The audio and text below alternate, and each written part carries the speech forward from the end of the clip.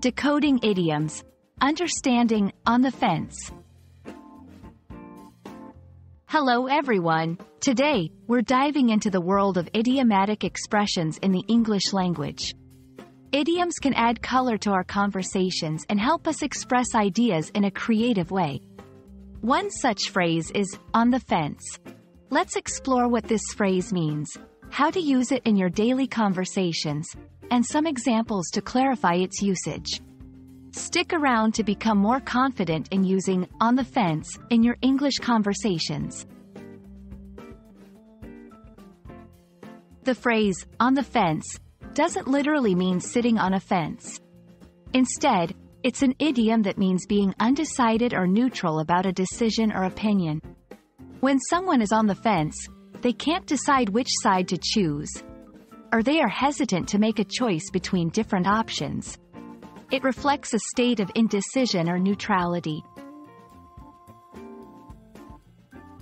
Understanding the origin of idioms can make them easier to remember. The phrase, on the fence, likely comes from the image of someone sitting on a fence, not moving to either side. It perfectly captures the idea of not committing to one side or the other in a debate or decision. This imagery helps us remember what the phrase means and how to use it in conversation. Using on the fence correctly can help you sound more like a native speaker. Here are some tips.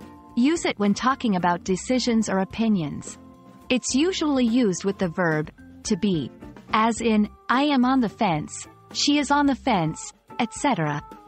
It fits well in informal conversations and can also be used in more formal discussions. Example sentences. 1. I'm on the fence about going to the party. I want to go, but I also need to study for my exam. 2. Our boss is still on the fence about allowing remote work. He sees both the pros and cons. While on the fence is a straightforward idiom, there are common mistakes to avoid. Don't use it to describe physical positions, it's about decisions or opinions. Avoid using it in situations where a decision has already been made. It's only used when the indecision is present. Today, we've climbed over the hurdle of understanding the idiom, on the fence. We explored its meaning, origin, usage, and even went through some examples and common mistakes. Now, you're well equipped to use this idiom in your daily English conversations. Remember, learning idioms can be fun and can add a lot of flavor to your language skills. Thanks for joining, and I hope this video helps you feel more confident in your English language journey.